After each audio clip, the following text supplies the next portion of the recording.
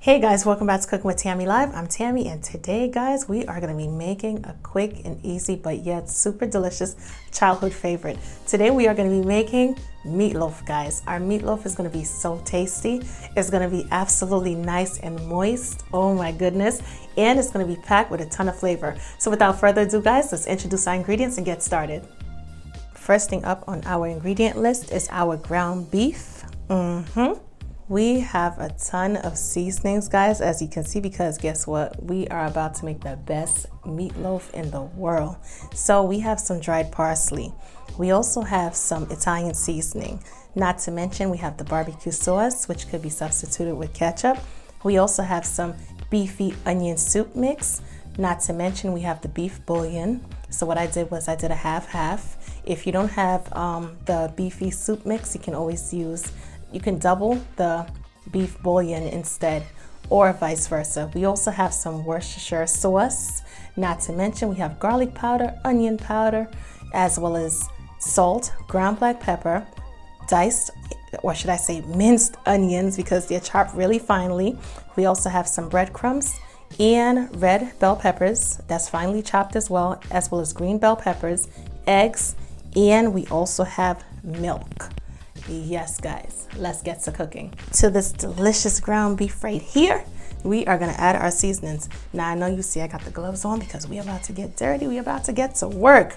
I'm gonna beat my eggs because I want it to be able to incorporate easy within the meat. First thing we're gonna add to this mix is our salt, ground black pepper, of course. Get that pepper in there. We're gonna add our garlic powder, our onion powder. Can't tell me this recipe is not straightforward and easy, right? We're also gonna add our beef bouillon powder, as well as our beefy onion soup mix, our Italian seasonings, and our dried parsley, bell peppers, of course. We got the reds right here. And we chopped it really fine because we don't want it to be chunky inside of our meatloaf. And we also have some green bell peppers that's finely minced up as well. And we have our onions right here. We're gonna add it to the mix. Make sure I get everything. Worcestershire sauce right up in there. That's gonna give it some flavor. And we have our barbecue sauce as well because our meatloaf is going to be saucy. Mm-hmm. Just like that. And we have our eggs, which we're going to add to the mix. It's going to be so much easier to incorporate because we beat those eggs, as well as our breadcrumbs. Mm-hmm. And to soften it all up, we have our milk, guys. And yes, using our hands, we are gonna get in there and we are gonna combine all of these ingredients, guys. Oh my goodness. Did I forget to tell you that this meatloaf is gonna be so mouth-watering? It's gonna be the best meatloaf ever. Mm-hmm. We're gonna get in there, we're gonna combine everything together, just like this. All you gotta do, guys, get yourself some ground meat. You can mix it. You can do beef, pork, chicken, whatever it is that you wanna do. Ground turkey, this recipe is so universal. However, I would say if you do ground turkey or chicken, instead of using the beef bouillon powder, you can always use the chicken bouillon powder. It goes really, really well. Mm. We're gonna get in there, make sure every piece of meat is perfectly seasoned. However, the trick to making a moist meatloaf is within the milk that you add. The milk and the breadcrumbs as well as the eggs. Those three right there, partnered up, makes the best meatloaf. Nice and moist. All right, I would say that's enough mixing because we don't want our meatloaf to be, you know, tough. We want it to be nice and juicy. All right, guys, that's it. We are gonna take this perfectly seasoned meatloaf and we are gonna put it into our loaf pan. That's why it's called meatloaf, because you're gonna loaf it out into the pan. We're gonna put it in the pan just like that. I know I'm bringing back so many childhood memories right about now. Yes. Hit me in the comment section. Let me know what you used to eat your meatloaf with. and of course, I know we can all agree grandmas make the best meatloaf. Oh.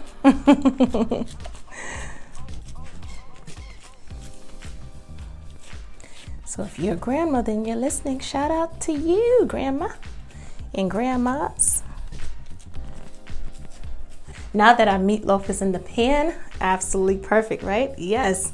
Anyway, guys, we are going to place our meatloaf into the oven at 375 degrees Fahrenheit. No 350 today. We're not doing 350. we're going to do 375 Fahrenheit, of course. And we're going to place it into the oven for about 40 minutes.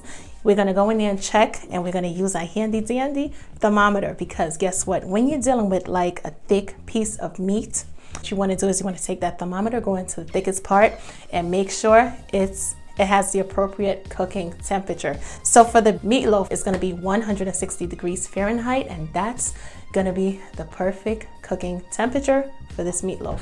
Anyway, guys, off to the oven we go, and I'll show you what everything looks like, and make sure you continue watching because I'm gonna show you how to make a banging, banging, guys. Sauce to go along with this meatloaf is gonna be off the hook. While our delicious meatloaf was doing its thing, look, I know you guys can see that excess oil that's sitting in the pan, right? Listen, we are not gonna consume that. What we're gonna do is we're gonna drain that off because of course it's beef, just like pork, you're gonna have that excess oil. Drain it off and we're gonna make our sauce. Gonna drain it off just like that. And don't worry, we're not losing any flavor. We are not losing any flavor. I'm just gonna go in and hold it give that extra security.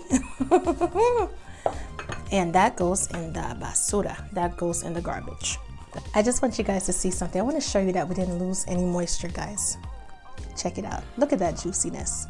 Look at those refreshing bubbles right there. What? Absolutely juicy and tender. You get that bounce back. What? Mm.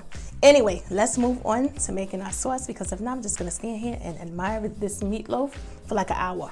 So for our sauce, guys, we're gonna need ketchup, of course. Get that ketchup, whatever your favorite brand is. We're also gonna need some brown sugar. This is the light brown sugar. We have some garlic powder as well as some Worcestershire sauce. And we have our apple cider vinegar for that little extra tang. Hey! So what we're gonna do is we're gonna take our brown sugar, add it to that tomato sauce, or should I say ketchup. And we're gonna take our garlic powder, Worcestershire sauce in the mix. And we have, last but not least, Mr. Apple Cider Vinegar. We're gonna lightly take our time and incorporate all of our ingredients. I'm just, we're gonna literally mix all the ingredients together just like this. Mm -hmm. And once we are done, Make sure you get that sugar at the bottom because you don't want that sugar to sit at the bottom. This is gonna be our delicious saucy sauce. Mm -hmm.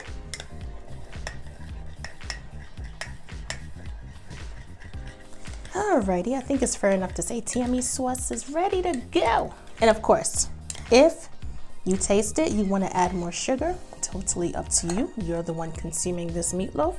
Make it customary all right, now that we are done with our sauce, what we're gonna do is we're gonna take it, take our brush, mm -hmm, and we are gonna brush, you know what? Forget the brush. we're gonna take this sauce and we're gonna drizzle it onto our meatloaf just like that. We're gonna get the full cooking with Tammy effect. Now we're gonna go in with the brush just like that. Mm -hmm. and we are gonna sauce this baby up. Make sure you get the sides and the crevices. Ooh, we absolutely beautiful. And that's a little chunky piece of sugar right there, but guess what? That's okay because it's gonna melt. Once it goes back into the oven for about 15 minutes, because we want that sauce to get thick and we want it to stick to the meatloaf, guys. Literally stick to the meatloaf. So that way it's nice and delicious and tasty. Anyway, back into the oven, 375 for about 10 minutes. Now that our meatloaf is in the oven, I've been working behind the scenes because of course, I couldn't just make meatloaf and leave it as that. Of course not. Meatloaf and what? We need meatloaf to go with something. So what I'm gonna do is I'm gonna show you how to make my absolutely delicious whipped mashed potatoes that's gonna pair perfectly along with some sauteed spinach and everything is gonna tie together absolutely deliciously. Mashed potato time. Gonna go in with this potato masher. Get these potatoes mashed up. And of course, these are just regular Idaho potatoes. Nothing out of the ordinary. Mm -hmm. Once they're cooked all the way through, mashing them is gonna be so easy. Nothing complicated whatsoever. And just in case you're wondering how many potatoes, make as many potatoes to feed you and your family or your guests or whomever you're gonna be feeding. We are gonna add some butter. How much butter? Add as much as you like. Just like that. And we're gonna add a little salt.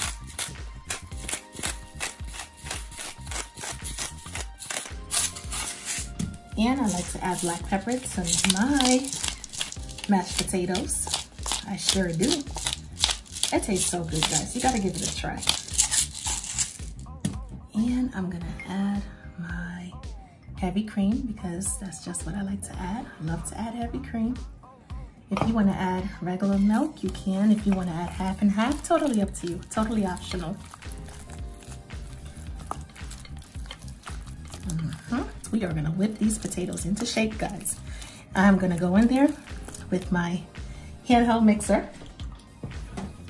And it's about to be on. All right, this is perfect. Couple pulses. I want it to be nice and whipped, but I still want a little texture in there. Go in one more time with the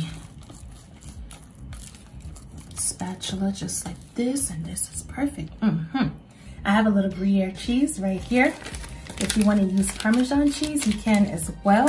I'm gonna grate some Gruyere over these mashed potatoes. Give it a nice nutty, creamy flavor. For our spinach, what we're gonna do is to a nice warm skillet, we're gonna add a little oil, not too much. We don't want greasy spinach, just enough. And we're gonna add some butter, give it a nice creamy taste. Mm -hmm, perfect. And I am gonna go in there with my wash, wash. Okay, make sure you wash your spinach before you cook it. Oh my God, girl, you better get a bigger pot or a bigger pan because your spinach is overflowing. Yeah, right. What's gonna happen is the spinach is gonna wilter away literally in a couple of seconds. It's like a magic act. And we are gonna have such a little bit of spinach, to be honest with you. So if you're making uh, spinach for a large amount of people, make sure you grab a couple bags of spinach because trust me, this is gonna wilter down to literally less to nothing. Go in there, mix it up, allow it to do its thing. Right now my flame is on low heat and that's all we need. What did I tell you? Look at what we have now, literally less than nothing. All right, guys, I'm gonna season up my spinach. So what I'm gonna do is I'm gonna go in with a little bit, as you can see, a little bit of chicken bouillon as well as garlic powder. This ramekin right now is being shared shared occupancy. So I added, like I said, a little chicken bouillon as well as a little garlic powder. I'm gonna add it to the spinach, give it some flavor. Just a tad bit of salt, not much, because our chicken bouillon has uh, salt already. And we're also gonna add some black pepper. And we are gonna mix it all together, just like that. And of course, the water in the pan is the water from the spinach. That's totally okay. It's gonna help our seasonings to incorporate with the spinach even better. and that's literally it when it comes to our spinach. Just make sure that seasoning is well incorporated. And voila, we have flavored spinach. Yes, turn off that stove top. I just took our spinach from the pan and look. so what I'm gonna do is I'm literally gonna stretch it out by adding some broccoli to the same liquid that I cooked the spinach in.